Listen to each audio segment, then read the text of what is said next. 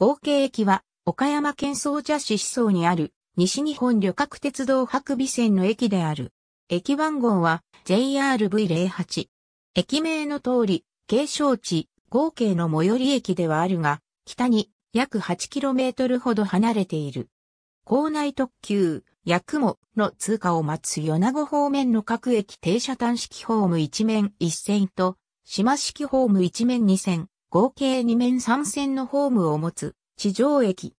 駅舎は単式ホームの1番乗り場側にあり、島式ホームの2.3番乗り場へは、古線橋で連絡している。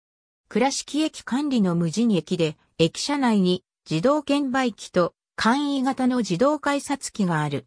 愛子か利用可能駅。上り本線は1番乗り場、下り本線は3番乗り場。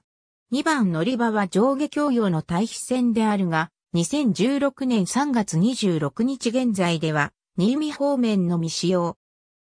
主に夕方から夜間に特急列車の通過待ちを行う列車が抽選を使用している。2018年7月の豪雨により、岡山駅東駅間で折り返し運転を行っていたが、8月1日から折り返し運転廃止。1日の平均乗車人員は以下の通りである。合計駅の隣に1994年開業の合計駐在所がある。ありがとうございます。